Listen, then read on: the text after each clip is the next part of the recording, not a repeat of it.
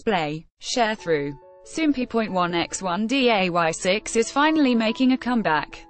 See also, DAY6 reveals design for new light band, a spin on fan light sticks on June 11th at midnight KST. The band revealed the title of their new album, the comeback date, and what's to come in the days leading up to the release.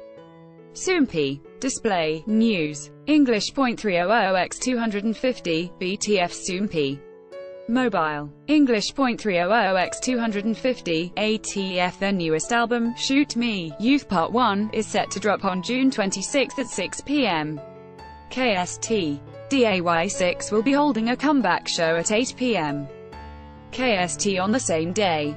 Over the next couple of weeks, the band will be sharing glimpses of their new release with photos, their track list, a highlight medley of their album, an AMV teaser.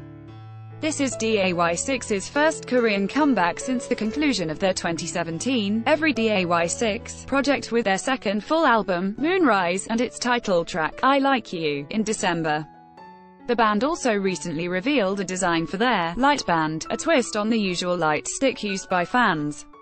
It will be released on June 22, just days before DAY6's comeback.